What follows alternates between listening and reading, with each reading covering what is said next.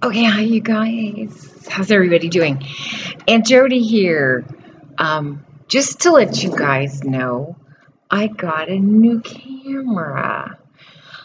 Yeah, Uncle Justin stopped at Walmart to check out the electronics bargains. Yeah, the band is warming up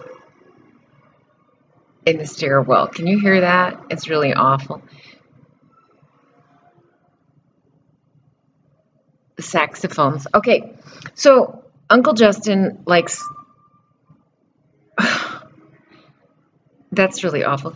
Um, and I was in the band, but I played a trumpet, which I hated, and it was awful. But my dad was friends with the band director, and uh, yeah. So anyway, um, Uncle Justin went to Walmart. He likes electronics. Um, he actually used to work in the electronics section and he knew I was looking at these little cameras because I have a graduation coming up and my friends and I are going to Florida for a graduation trip and I needed a camera for our trip and for Disney World.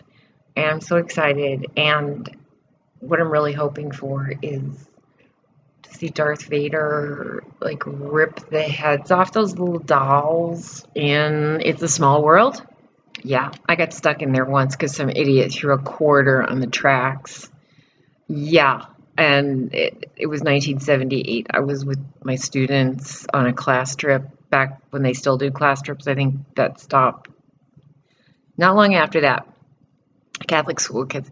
Anyway, um, here's my new camera, and of course it does video. I have a lot to learn about this camera still, but it does do video, and I've been taking some pictures. Um, what? I don't want to add a device. Okay, so anyway, I'm excited about this. And I was going to show you, I showed you the cup that cousin CJ sent me because I said something that he liked uh, in our chat form. I have no idea what I said. I say a lot of things. I just type.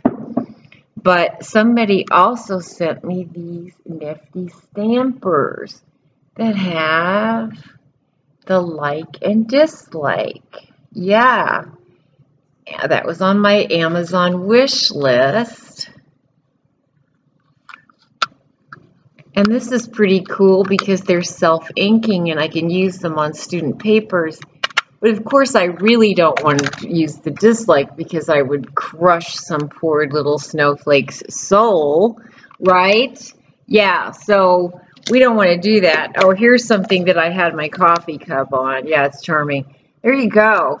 And here's what I do if uh, you're acting like a something or other while I'm trying to work with a student.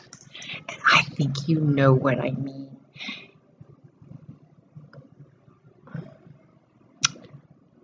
Me hace asquerosa. Yeah, figured that out. Um, it's not it's not a curse word, kids. Okay, so anyway, yeah, I'm being catty. This little dirty thing is the passport pouch. And, oh God, that band is awful. This is what I made my students wear when we went to Europe. Do not travel to Europe, especially not to Italy, without one of these. And so what you do is you put your passport, your credit cards, your your camera, your cell phone. Make sure your cell phone does international. So we're going to pretend, you know, we have all these things. So we've got all of this stuff. It goes in here, right?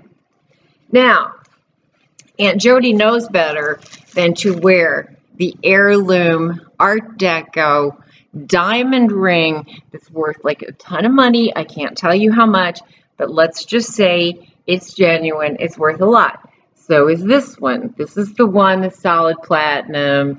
I got it for $200 when the economy started tanking because they took a crap picture. Okay, I'm not going to wear this to Europe. None of this. This is all going back in the bank. So this is what you do. This is all going inside the shirts.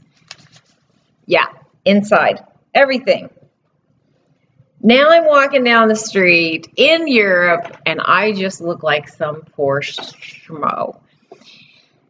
So I have to dig in here when I need something. Big whoop. My kids never got robbed. I would yell passport check and they'd have to show me this pouch. I took kids on trips from 1990 until, or 1991 until 2002, and nobody got robbed. Other kids from other groups did. So anyway, this is a passport pouch. You can get these. You can also get them in the belts. Money belts suck because you're going to take your belt off every time you buy like a gelato or something. Okay, you don't want to do that. So get these things.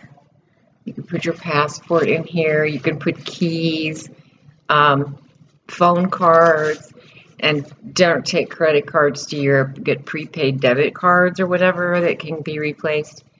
I wore we wore these literally even in our sleep because if the hotel caught fire, you could like pick them up and run. Okay, so that's my travel advice.